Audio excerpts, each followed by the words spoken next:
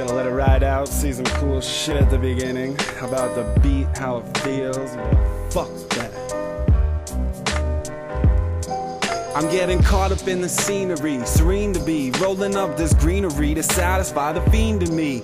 Twist and swisher sweets, puffing down familiar streets, loving how it feels to be young, at times high strung, cause there ain't no room for error in the modern man's test.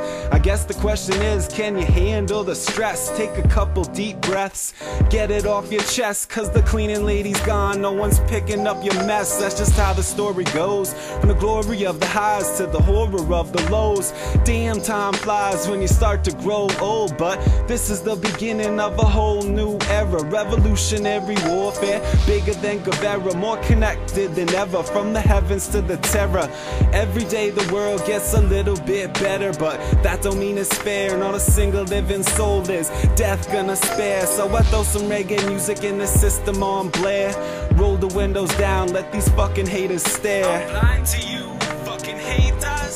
A soft path through the morning mist. Young veteran, bar Molly spliff and the boombox kick. Underground boondock, swamp hip hop kids. The savagest wits rolling through the bags of piff. And we really gotta kick it at the classes we'd skip. But it's the passion of our actions keeping all the ashes lit. Sometimes I need the wine.